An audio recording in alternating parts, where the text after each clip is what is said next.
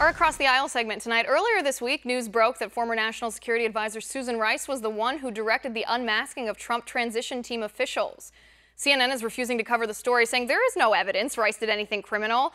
But this is the same network that has speculated for weeks about illegal ties between Russia and the Trump administration, even though there's no evidence of that. This is Don Lemon's stance.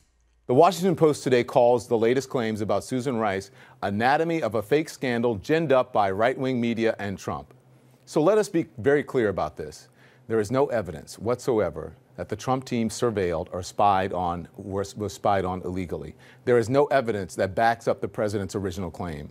And on this program tonight, we will not insult your intelligence by pretending otherwise, nor will we aid and abet the people who are trying to misinform you, the American people, by creating a diversion.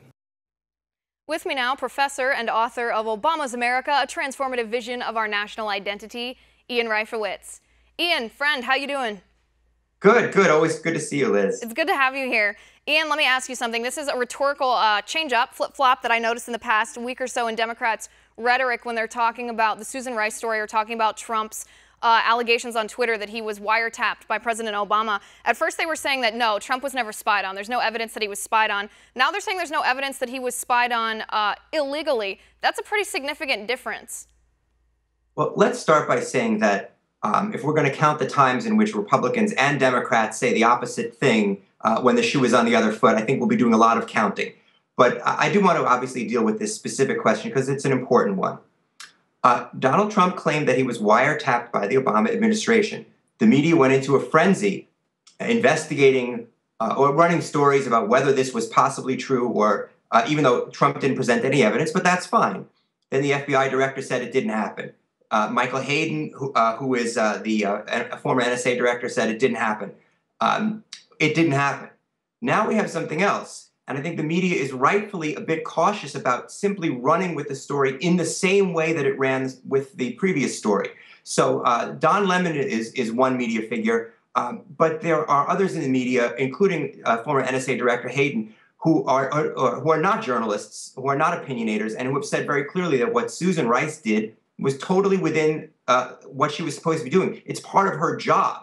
When we're talking about unmasked. Wait a second. Wait a second. Wait a second. Let me ask you this then. Let me ask you this because it's remarkable to me, honestly, that the media is not investigating the story. It's fine to withhold opinion or to withhold a conclusion until you've investigated the facts. Certainly, the media needs to do more, uh, do that more often than they do. They jump to a conclusion immediately based off of their political bias. They don't investigate the facts. I cannot believe they're not investigating this. This could be as huge as Watergate. But Ian, let me ask you. You say what Susan Rice is doing is legal. If this had been done by President Bush's national security advisor in the interim between the election of President Obama and the inauguration of President Obama, would that have been no big deal to you?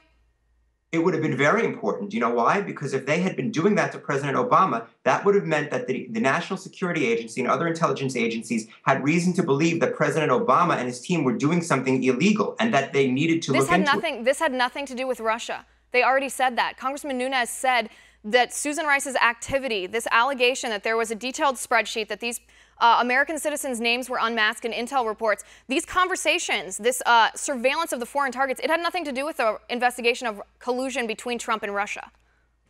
Well, first of all, I'm not sure I would take anything Chairman Nunes says seriously, given what's happened with him over the last week.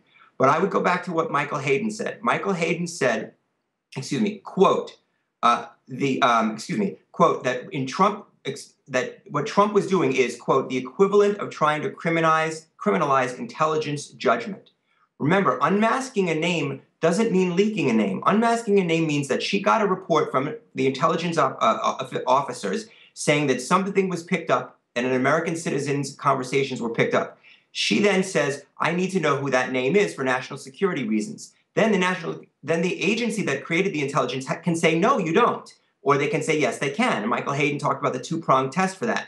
So the fact is that they gave her right. the names they agreed that she needed them. She didn't leak them to the media, so there is no investigation. No, no, they, they don't they don't get to agree whether she needs them or not. There there is there is some stipulations about whether or not. But Ian, you're missing the point here. I mean, she perhaps used a loophole. That perhaps is technically true that she's allowed to request the unmasking of names. But when you look at what happened, when you look at the fact that she logged all these requests to unmask the names of U.S. persons who should their privacy should have been respected. I mean, you're a liberal, you know this. You're not supposed to like you're not supposed to like when government surveils you. When their privacy was violated violated. And then after that, the Obama administration lowered the classification level for people within the intelligence community who were allowed to see the names of these unmasked people. That's a violation of the spirit of the law, and you know that. It's violating the spirit of the law because that makes it more likely that these leaks would happen.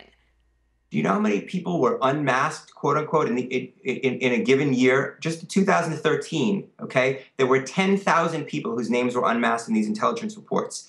This is what intelligence officers do. This is what national security officers do. The only possible crime that Susan Rice could have committed was to have leaked these names outside the White House. There is no evidence that she did that. There's no way to investigate whether she did that other than asking her. Uh, the names were, were not, in fact, the name of, according to the Wall Street Journal, other than Michael Flynn, which his name was not unmasked by, by Susan Rice, according to the Wall Street Journal report, the other name is still unknown outside of, outside of, uh, of the Obama administration and the intelligence communities. So these names have not gotten out there. Ian, th this is this is absolutely shocking to me. This is absolutely shocking to me that this does not bother you.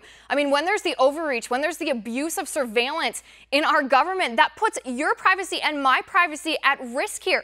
When the, when the intelligence communities or intelligence is weaponized, do you know how dangerous that is?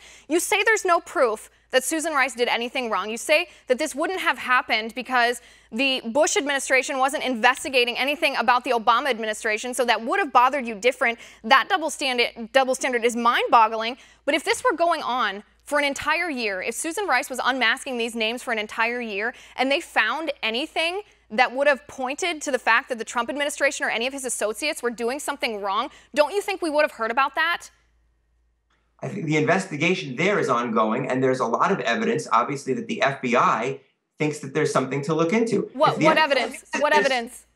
Have they released it yet? You'd be aware of it, and so and so would I. You're not. The FBI is not supposed to comment on ongoing investigations. We're, at least they're not supposed to do that uh, if it's it's somebody who's not named Hillary Clinton.